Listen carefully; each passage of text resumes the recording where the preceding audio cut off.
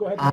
Um, sorry. Um, should that first temperature be T1 and not T2? Uh, yeah, it looks like uh, we are. It should be T1 here. Yeah, so it's correct in the table. You're right, but incorrect on the handout. Good eye. All right. I was just curious. Thank you. Yep, no problem. So if you would like to follow along with the example again, you're welcome to bring up that uh, that sheet before. And I mean, just in general, I, I'll always make the announcement, I guess, before the class. But I mean, I will post these starter sheets online. So if you want to pick them out beforehand, I don't know how many people have access to printers, but if you do, you're certainly welcome to print them out before as well. So we've been talking about delta U and how to find delta U for different types of materials.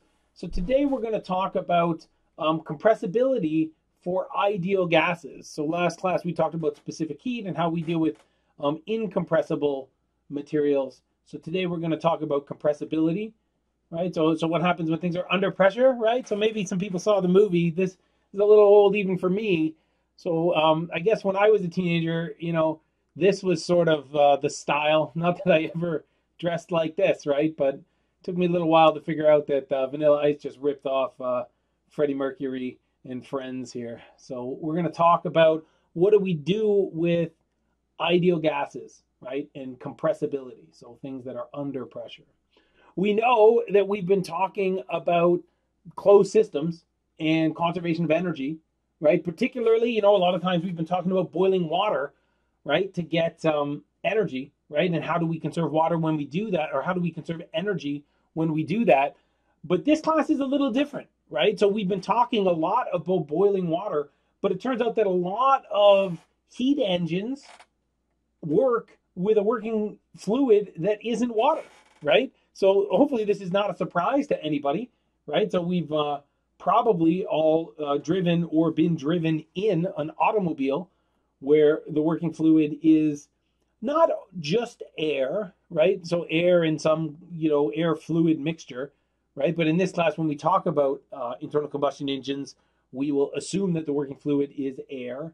But also in things like natural gas power plants, we have a similar thing where the, the working fluid looks a lot more like air than water, right? And we can still use conservation of energy if our system is closed. We can still use this same equation here. Notice here I didn't write it down, but to get to this equation, we've already assumed a couple things. The first is that the system is closed, because if it's not a closed system, I can't use this equation. And the second is that we're neglecting changes in kinetic or potential energy. So we're saying that the change in energy is mostly determined by the change in this internal energy. We know how to find work in this equation. We're learning different ways to find the change in the internal energy. You won't be able to find Q, at least from first principles, until you take heat transfer, right? So in this class, we're going to use the first law to find Q more often than not, right? And we can do that if we have a relationship between P and V, and if we can find the change in the specific internal energy, right? So we've been working on that. If it's two phase, we know that we can look uh, on tables A2 and A3. It's under the vapor dome. We're looking for quality. If it's a subcooled liquid, we could look on table A5, but we know now that A5, the data is pretty sparse in there. So we have now two different things that we can do for subcooled liquids. We can assume that delta U is CV times delta T, or we can assume that the specific internal energy of a subcooled liquid is the same as the specific internal energy of the saturated liquid at the same temperature. We can do that for all properties, not just specific internal energy. And then we know for superheated vapor, we can use table A4, right? So this is, in this case, steam. So this is superheated vapor that's still pretty close to the vapor dome. We did an example last class that talked about solids and liquids, things that are incompressible. And we said, well, usually for these incompressible materials, it's not such a bad assumption to say that the specific heats are constant. And if the specific heats are constant, then you can find delta U as CV times delta T and delta H as CP times delta T. And the cool thing about these incompressible substances is that CV is equal to CP. So they're basically the same thing. It's really just C. So there's only really one specific heat if you're talking about liquids and if you're talking about solids. So that's nice if we're talking about liquids and solids, but maybe you're asking the question, well, is there kind of a shortcut that we can take if we're above the vapor dome and to the right of the critical point, right? The place that we've been talking about superheated vapor. And today we're going to find out that the answer is sometimes, right? So again, as an engineer, we need to know what are the assumptions that we're making and when can we use specific strategies, right? This class is a lot like, I don't know, uh, sometimes I say this and then I always wonder. So um, when I was a kid, there was a thing called a choose your own adventure book, right? So you read this book and then you make a choice. You go to a different place in the book, maybe like a like an interactive comic now, right? So I assume that people still know what books are, right? Um, so these things, right? We basically every problem is the same problem, right? It's all about conservation of energy, but we're sort of going through this choose your own adventure, right? Or maybe it's like um, what was that app called Temple Run, right? Where you you know it just goes on forever and you're constantly making decisions, right? Are you turning left or turning right or are you jumping or whatever, right? And that's what we're doing in thermodynamics is, you know, we're sort of navigating this uh, this path to get to the end of the problem, but it's ultimately always the same. We're just making different choices, right? So do we always need a table when we're talking about superheated vapors? And I think, you know, it sometimes makes sense to go back to the physics, right? So here, let's imagine a case where we have a piston cylinder assembly that looks like this, right? Now, it's a closed system and it's filled with gas, right? Let's pick any gas, let's say air, right? And what I'm going to do is I'm going to move this piston up and down, right? And as I do that, we're going to track the specific volume. Although here it's kind of a special specific volume. It's a specific volume, but instead of dividing by mass, we're dividing by moles, right? So, um, my brother's a chemist, right? Um, so when he talks about how much stuff he has in a particular, you know, reaction or something, he talks about moles, right? Because he's typically talking about a smaller amount of stuff, right? As a mechanical engineer, though, I'm usually talking about, you know, kilograms or pounds or something because I'm talking about lots of stuff, right? But really, moles and pounds or kilograms. It's all talking about how much stuff do we have, right? So here we're going to start thinking about this in terms of how many moles we have because it's uh well you'll see as it evolves but it starts off a little bit easier if we think about um you know if we're taking these specific values as uh with moles in the in the denominator right so we're going to do this experiment and we're going to repeat it at different temperatures right I just like doing the animation here, right? So the piston is going up and down, right? Because as it comes down, the pressure goes up. So what happens to things like specific volume, right? And what happens to the temperature, right? So if I keep my temperature constant and I do different temperatures, right? So T1, T2, T3, T4. So, you know, temperature is, is going down here with the number. And I'm going to plot on my x-axis the pressure, right? Because the pressure is going to change as I'm moving my piston up and down.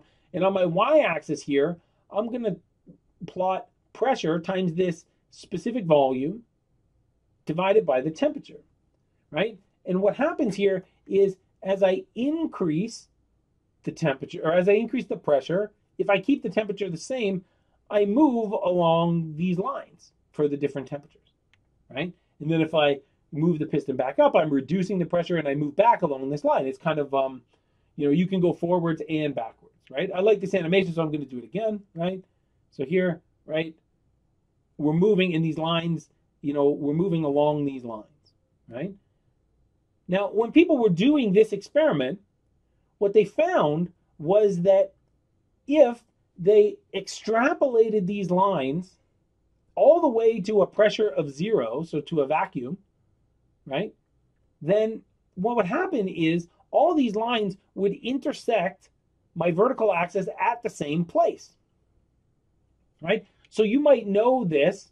Uh, this is R bar. This is the universal gas constant, right? So this is R bar is what we're going to call it in this class, right? Now the cool thing is that you can do this experiment with one gas all at different temperatures.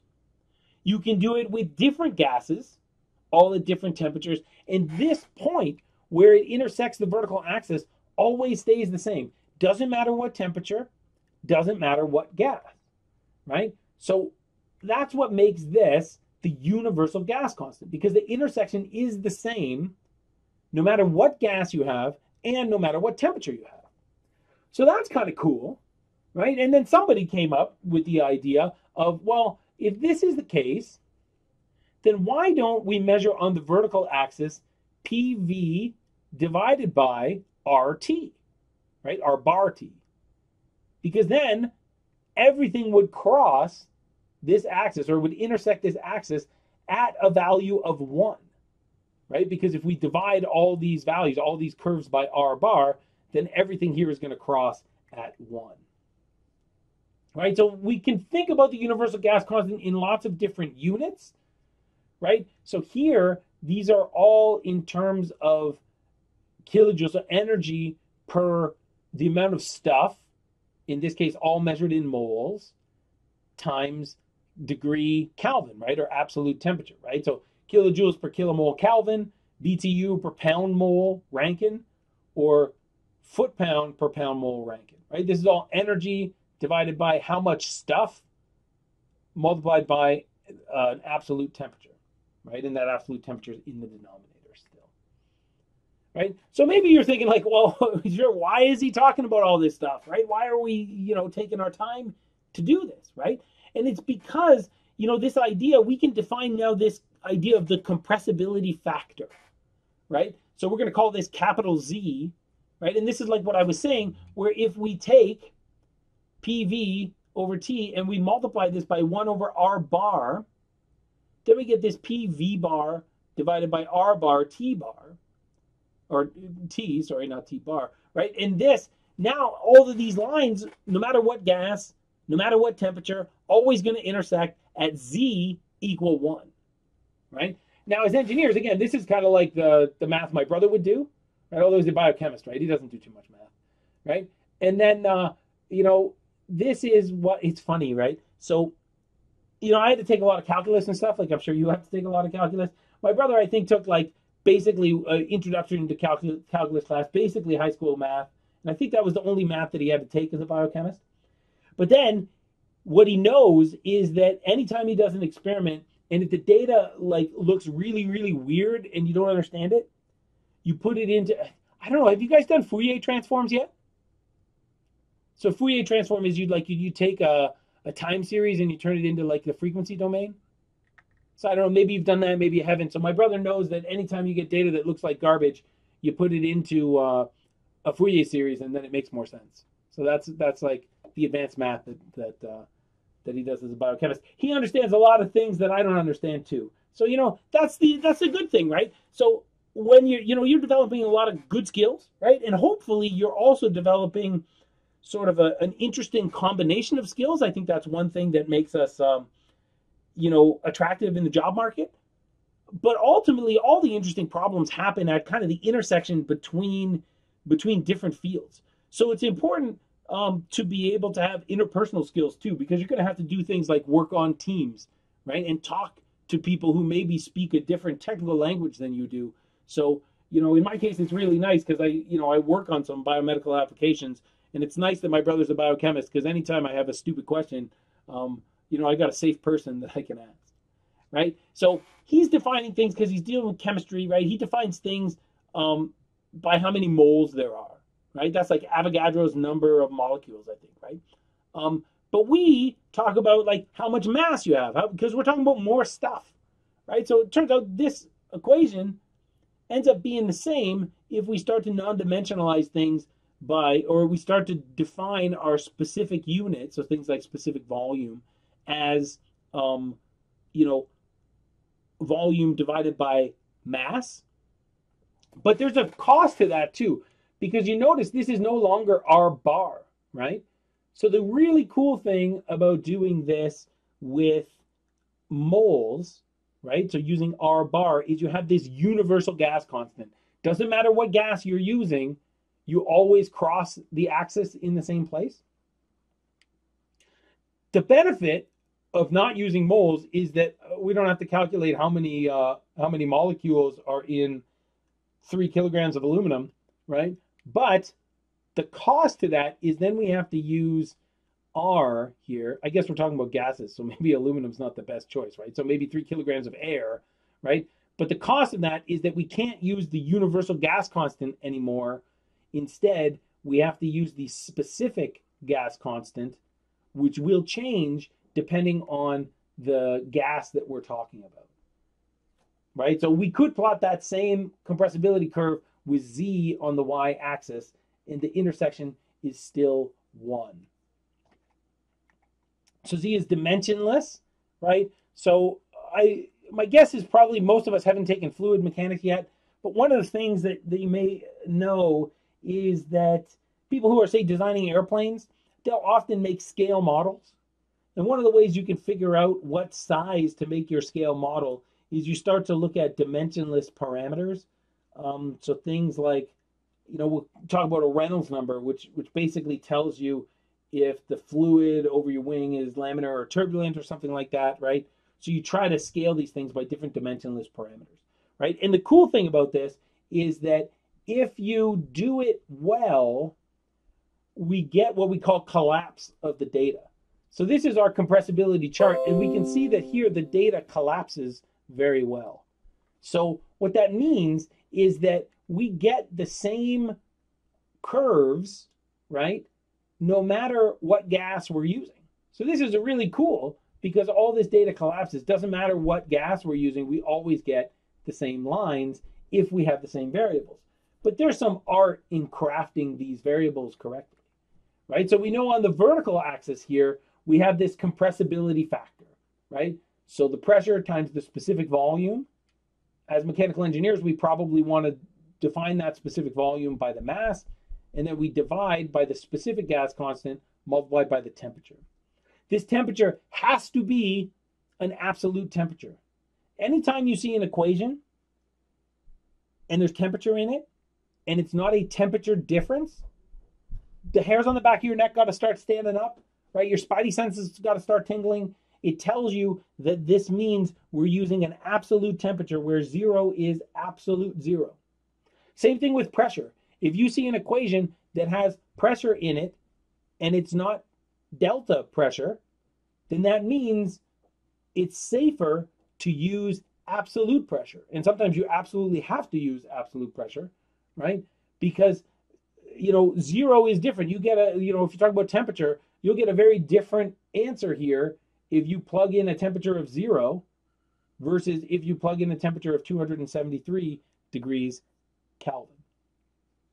Right, so there's some other variables on here, right? We've got the reduced pressure and the reduced temperature.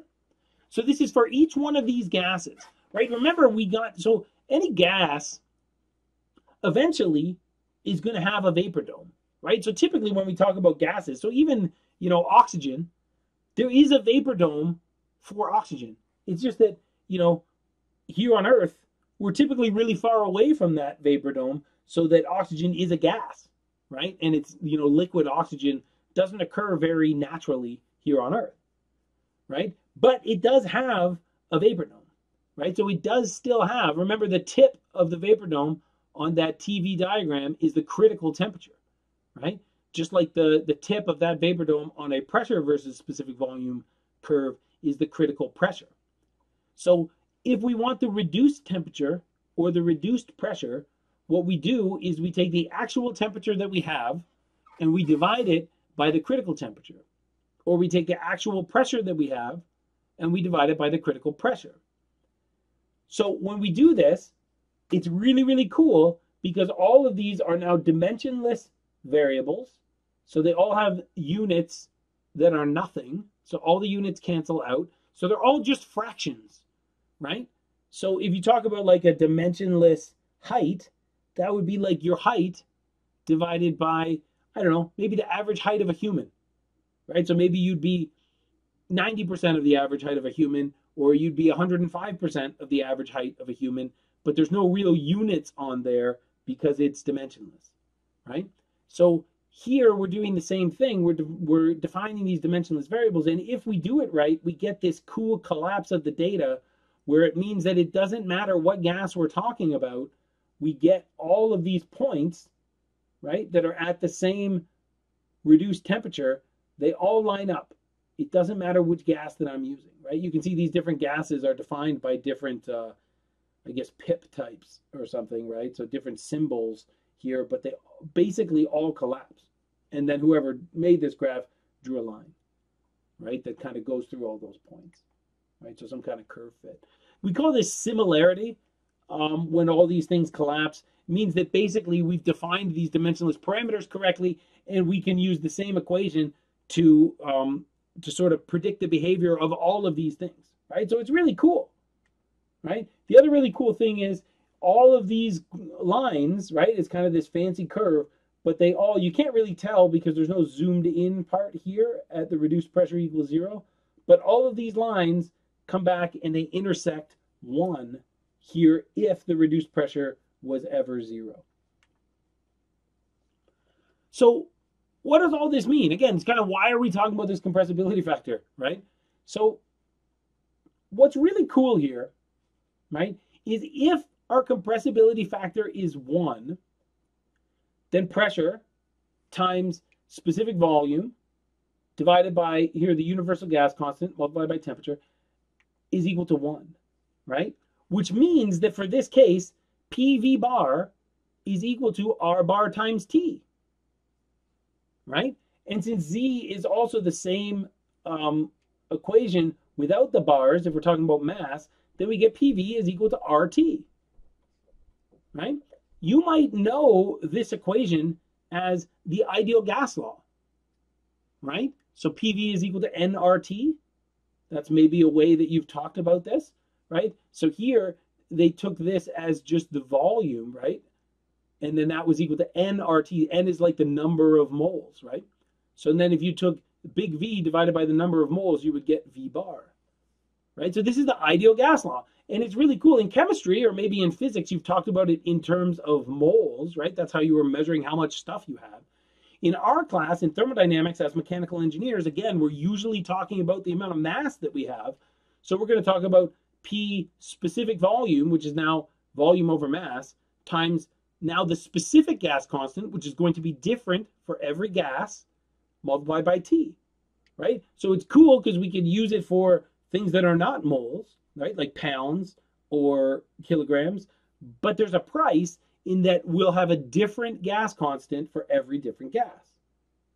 Right? The other cool thing, right, is that maybe in science class, like in chemistry or something, you just use this equation because maybe your teacher told you you should use this equation. I mean, that's how it was for me when I was in high school, right? But what we're trying to teach you in this class is that as engineers, we need to know the conditions that we're applying in order to use the different equations that we have.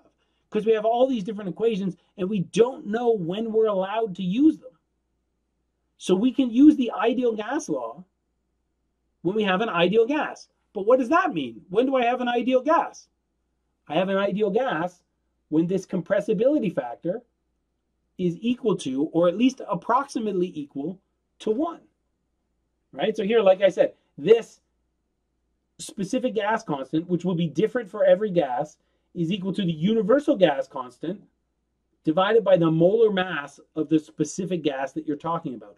And because different gases have different molar masses, then you're going to have a different value for every different gas.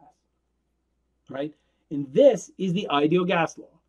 So we have an ideal gas when the compressibility factor approaches 1 right? And the cool thing about this, right? So we've been talking about trying to find different properties, right? So, you know, we've been saying, oh, I can fix a state if I knew two independent intensive properties, right? But if I know something is an ideal gas, and I know, say, the pressure in the specific volume, then, and I know what gas it is, so I know what R is, then I can find the temperature, right? Or if I know the temperature and the pressure, then I can find the specific volume. These things are sort of, they go together, right? So if I can find two of them, then I can find the other one too. right? Because we're fixing states, right? So now I've told you that you can only use this ideal gas law when you have an ideal gas. And you have an ideal gas when this compressibility factor equals one. But what does that mean physically, right? How do I know if the compressibility factor is equal to one, right? I have some equation for it, but the equation's only good if I know what PV and RT are, right? So we've got these kind of heuristics for telling us when we have an ideal gas. So you look at all these graphs, right?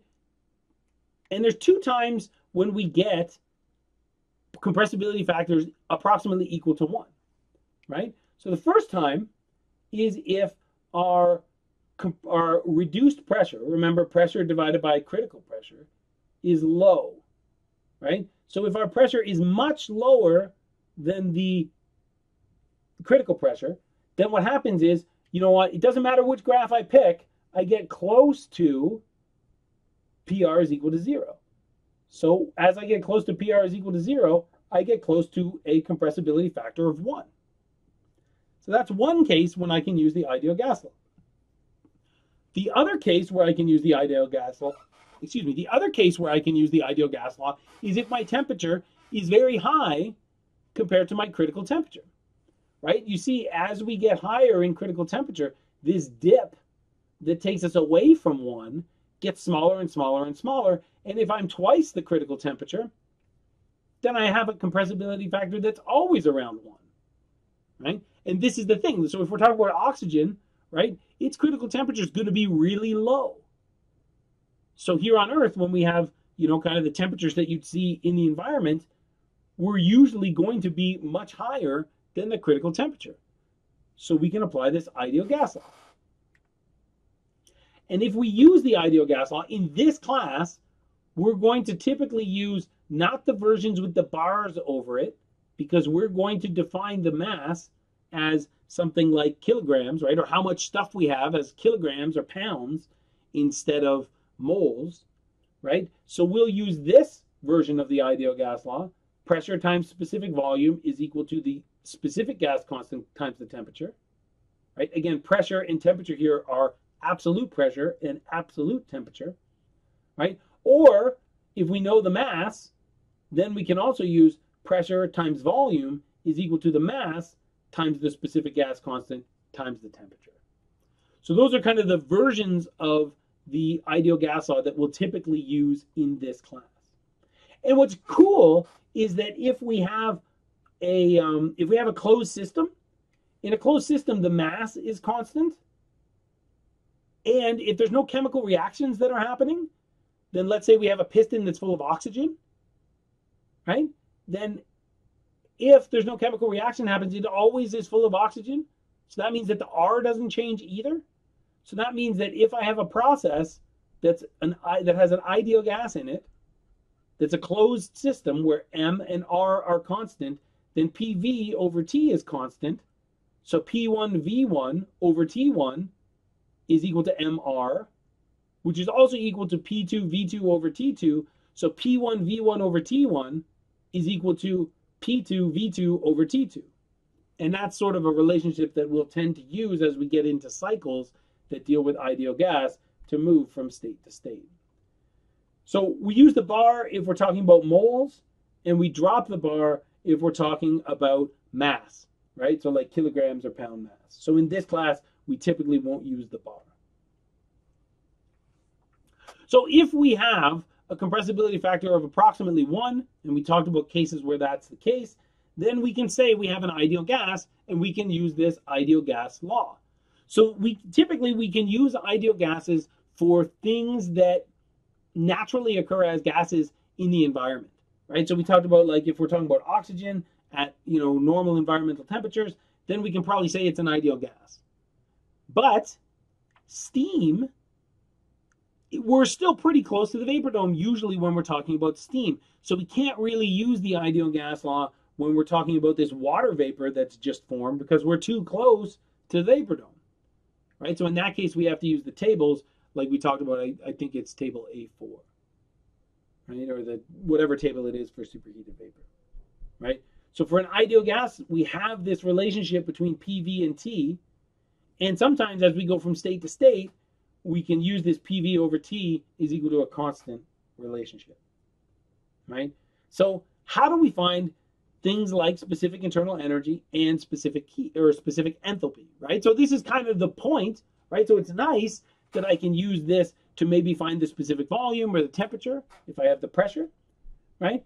But the cool thing is if I've invoked this ideal gas law, then I can also sometimes anyway if my if my temperature differences are kind of low right i can also invoke this same idea that we had for solids and for um, incompressible fluids we can invoke this idea that we could approximate the specific heat as being constant right so these definitions are the same as they were for solids and liquids except here cv and cp are actually different values so it really matters when you're talking about ideal gases that you pick the right specific heat, right? And remember, CV goes with delta U, right? Because the V looks a little bit like a U.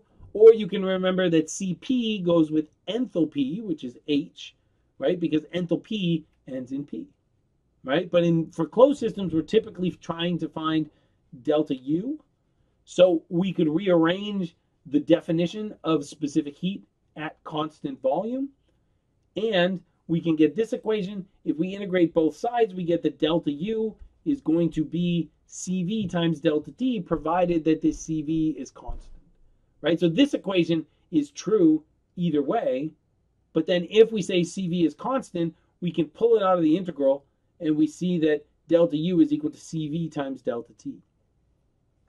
The problem is that in, or the potential problem, is that in reality, CV is not constant it's a function of temperature. So CV does change with temperature. So what happens here is that as you get a wider difference in temperature between T1 and T2, CV changes more, which means that this assumption gets worse. And that means that your approximation for delta U, if you use this equation, gets worse. So you can use this. It's kind of a back of the envelope type calculation where you're accepting that there's some error that's involved in doing this, right? we'll talk about during the example that there's another way that we can look up U on a table. If we're talking about air, we'll use table A22, which we'll talk about. And that's assuming that the air has no uh, water that's in it, right? So, you know, you probably know, you know, if you've been in Rochester in the summertime, that there's this thing called humidity, right? So actual air has some water vapor in it, right? So it turns out that when we talk about air, we'll be talking about dry air in this class.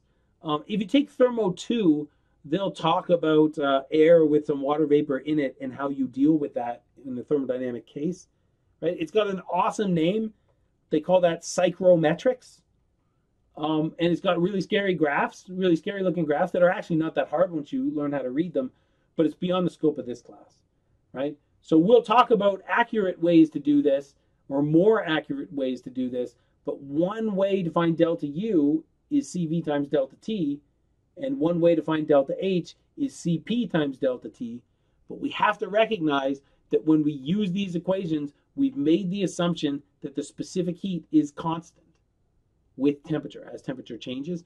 And that's not true, but it might be true enough to give you a reasonable answer depending on your application.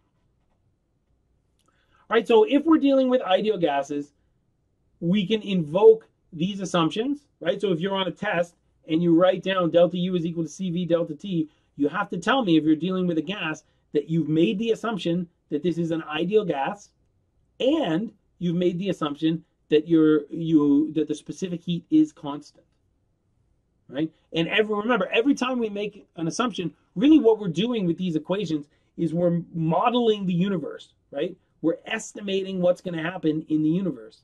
And every assumption that we make, you know, we take one, you know, one step towards, uh, you know, a more cartoonish version of the universe versus the actual universe. And sometimes that's okay because we can still get, you know, useful information, right? Remember we talked about how I think the job of the engineer a lot of times is you know, how do I design or improve a process with imperfect information? Right? And what I mean by imperfect information is we've got to make a whole bunch of assumptions a lot of times to get to a usable model. As an aside, I think there's a textbook question in here, right? So we know by definition that enthalpy, specific enthalpy, is specific internal energy plus pressure times specific volume. This is just the definition of enthalpy. Now we know if we're talking about an ideal gas, then we know that pressure times specific volume is equal to the specific gas constant times RT. Here's a textbook question. I can't remember if it's on the homework or not this year, but I can manipulate this equation, right? Because PV is equal to RT. So for an ideal gas, I know that the specific enthalpy is also equal to the specific internal energy plus the specific gas constant times the temperature. Okay, so we talked about there's this way of approximating delta U for ideal gases if we say CV times delta T, right? So I think like always, right, you know, as, as engineers, as scientists, we should be skeptical, right? So it's kind of like a trust but verify kind of thing. So this is a way that we're going to try to verify this, right? So this is kind of the handout for today or the problem we're going to go through today. We're going to try to find the change in specific internal energy for two states. And I believe that this is an ideal gas that's air. And we're told that the specific heat is 0.733 kilojoules per kilogram Kelvin. So let's do this example, right? So the first part, so in part A, right? So we're going to compare this, right? So in part A, we're going to use the ideal gas law and so we're going to say this is an ideal gas and the specific heats are constant, right? So if specific heat is constant and it's an ideal gas, then I can say that delta U is CV times delta T. Kind of the neat thing here is that, you know, this is my state table, right? And normally we've been talking about state tables and we would enter the actual specific internal energies here on my state table. But if I invoke this assumption that specific heats are constant, I don't actually care what the individual specific internal energies are. I'm actually never going to find the individual values for little u. I'm only finding the change in little u, but that's fine because that's what the first law is asking me for is delta u, right?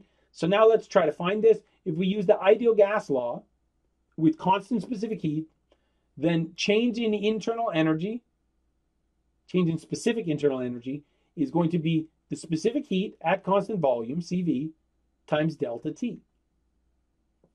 The problem tells me what CV is, 0.733 kilojoules per kilogram Kelvin, and I'm told what the temperatures are.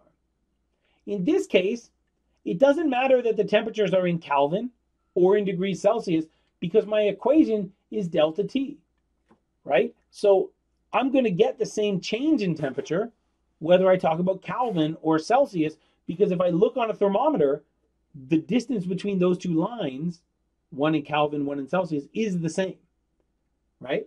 So delta T doesn't matter. But if it's uh, if I'm using the ideal gas law where it's a T that stands alone, it's not a delta T, then I have to use Kelvin.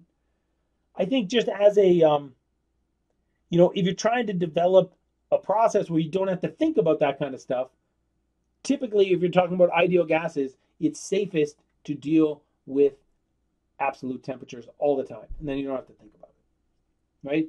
But here we have two temperatures, both in Kelvin.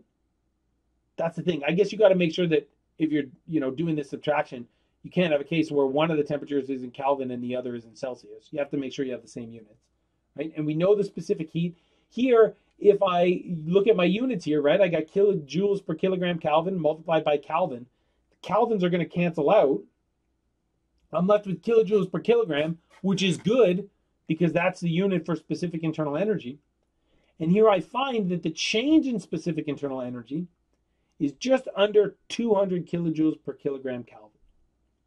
Again, I can put this on my state table as kind of a change, U2 minus U1, but I'm never going to know the individual specific internal energies with this method. That's okay. All I need is the temperature. So now I found delta U for this ideal gas, and it was pretty quick because I knew the specific heats and I kind of invoked this assumption. Now I've also told you that anytime you make an assumption, you know, you got to be wary because, you know, your your accuracy goes down. So let's compare this to finding the actual values in this case. So how do we find the actual values? We can so this is for air, right? So for air, we can go to table A22 and on table A22, we get these ideal gas properties of air. Now, the cool thing when we're trying to find properties of ideal gases on these tables is that all we need is one of these values. We usually we need two independent intensive properties to fix a state. But if we're talking about ideal gases, all I need is one of these values because it's an ideal gas and we have this relationship between PV and T. Right? So here, right, if I know the temperature, I can find the specific internal energy, right? Or if I knew the specific internal energy right away, I could find the temperature, right? And then I can use the ideal gas law if I know the temperature and the pressure to find the specific volume, provided I know what gas it is and I can find the specific gas constant. So here, right, in a case, so here it really matters that my temperatures are in Kelvin because that's what they are on this table, right? You can see that in the header here that the temperature here is in Kelvin right? So if you had an ideal gas and you and you had a temperature that was in Celsius, you'd have to remember to convert that here, right? So my state one, my temperature is 293 Kelvin. Now that's not a row on my table, but that's fine. I know how to interpolate. So I can interpolate here between 206.9 and 210.5, right? I've gone three out of the five degrees here. So I'm closer to 210.5 right? I have specific internal energy of 209.06 if I did my interpolation correctly, right? So you see here, I'm finding the actual values of the specific internal energy here. My second state is at 564, right? So again, it's an ideal gas and it's air, which means I can use table A22. My temperature is 564, which is between 560 and 570. So now I can look up what values my value of u is in between, and I can do my interpolation just like we've been doing. I'm interpolating with temperature. I find my interpolation factor, and here I got that my u2 value is 407.4. So now, if I'm actually doing a first law problem, I'd want to know delta u. So now I'd look at my state table. I have two values, u2 and u1. I can subtract the two, and in this case, I get 198.4. Right? So this is more accurate than this, but you can see the difference here is very small, right? So here if I'm trying to find the error, right, epsilon, then you know in this case it's like 0.1%. So for ideal gases, this approximation of CV delta T is equal to delta U is pretty good, provided your temperature differences are relatively small. The larger your temperature difference gets, the worse this assumption gets. Right? But it's still going to be reasonable, right? But you know, you gotta, you know, you always gotta remember that the math isn't the right answer, right? The math is a model that's trying to predict what's going to happen in the universe, right? So the model can give us some understanding, but it's not like the answer is the right answer, right? It's just kind of a prediction of what's going to happen in the universe. So that was all that I wanted to talk about today. Does anyone have any questions about the content or just about the course in general?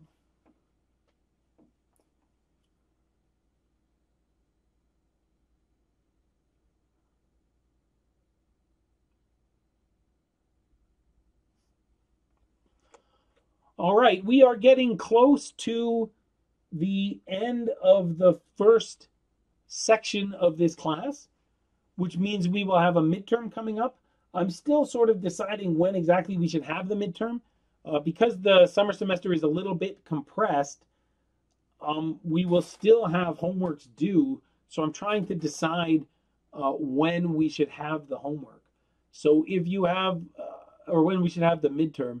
So I should have an answer for you at the beginning of next week when we will have uh, our scheduled midterm. So if you have any questions over the weekend, uh, feel free to send me an email. If not, I will have office hours at 10 o'clock and at 3 o'clock on Monday, and I will see you then. Thanks for your time, everyone. Um, I actually have a quick question. Shoot. What's the range we can expect for the midterm to be in? Like, is it like in a week or two, or? I think it will either be at the end of next week or the beginning of the week after. I'm leaning Okay. a little bit towards the beginning of the week after so that you'll have finished kind of the last. I think the homework set for next week will include some stuff that's on the midterm. So I think it will probably be the beginning of the week after. Okay, thank you. You're welcome. Um, I also had a question for when I looked in the gradebook in my courses. What are the instructor meeting weeks? Like, Oh, what so are that's what we've done when this class is. So I've set that category to zero on the grading scheme. Um, what we've done when we've met on campus is that for the first couple, I think the first three or four weeks in the class, you have to come to office hours physically uh, twice, maybe in the first three or four weeks. Obviously, you can't physically come to my house to, uh, you know, to talk about thermal. So I've, I've we're not going to have that um, that grade affect your final grade. So I've set that to zero in the grading scheme, but I've preserved it in the grade book because I'll probably end up migrating this class over. So it's it's there. You'll see it on the um, you'll see it in the grade book, but it it doesn't impact your grade. Okay, and for the um, the exam, will it be all at? Will we all be taking it at the same time, or will it be like a take home? I think because we have different people in different time zones, we probably won't all be taking it at the same time. I think it will look something like a take home exam, but I am not exactly sure the duration I will give you for the exam. But it will probably be longer than the typical, well, it will definitely be longer than the typical hour and a half. Um, I think it will probably be more like you know an evening where you uh, you know so so you maybe don't have as much stress involved with sort of accessing the material and uploading the material but it probably won't be longer than 24 hours